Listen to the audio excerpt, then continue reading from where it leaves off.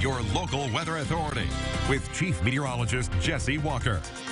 Hey everybody, we're still watching the tropics. Some things are going on. We have the hurricane out here, Larry. We have what was a tropical storm, Mindy, which came across the northeast Gulf overnight. We're watching the Caribbean area pretty close as well. It's a lot of convection down here, and I think we're going to see something develop and then head up towards probably Texas or Louisiana by the weekend. Early next week could be some very heavy rain, so something we'll keep an eye on as we head through time. But the tropics remain active and probably going to get more active in the Gulf of Mexico in the coming days. Around here, though, beautiful weather. We had 76 for the high today, 54 the low. Those numbers are below the average of 82 and 58. No rain, though. It's been pretty dry, and we could use some rain.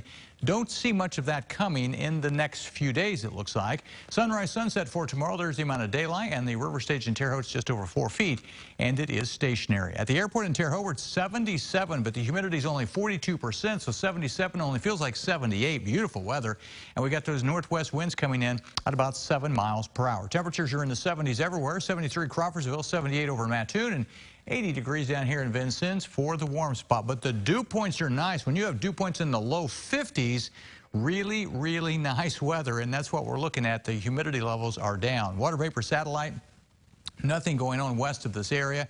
We're in good shape when you look at the satellite. Look at this. Nothing out here. So we've got some nice weather, although it is going to start to heat up as our winds go to the south and we start to see those southerly winds bringing the temperatures up starting tomorrow, but then really kicking in by the weekend. Satellite and radar, nothing to show you. We have a few of those clouds out there today. We call those fair weather cumulus. They didn't build up very high in the atmosphere. They'll go away this evening with the sun going down. All clean on the Dorsett Automotive Doppler radar. So overnight, clear skies, cool weather. Tomorrow, a lot of sunshine once again. Looks very nice again during the day tomorrow. Just slightly warmer as our winds will go to the south. Tomorrow night looks good if you're going to be out doing anything. And Saturday looks great as well, although it is going to start to warm up. It gets a little bit more humid by the upcoming weekend. Longer term, we don't see much of a chance of rain for a while. Our front will stall north of here, keeping us hot and dry.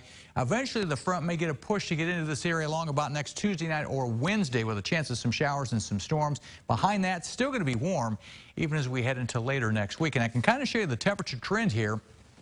There's the heat. Here's the very nice weather. This nice weather kind of leaves and the heat builds in for the weekend, Saturday, Sunday, Monday. The front comes in, might knock the temps down just a little bit, but we're still staying above normal, it looks like, for all of next week. And that trend is going to stay with us. So if you like warm weather, you're going to like this. September 17 to 23rd above normal temperatures. Precip probably near normal to a little bit above normal. So if you like the warmer weather, we've got plenty of it. It looks like moving back our way. Forecast tonight, 54, kind of cool, mostly clear skies out there. During the day tomorrow, some sunshine, a little bit warmer, highs right around 80 or 81. And then after that, here comes that summer heat just in time for the weekend. Will be a dry weekend, approaching 90 on Saturday, 92 on Sunday, 91 on Monday. So we're not done with the 90s yet. Still almost 90 on Tuesday.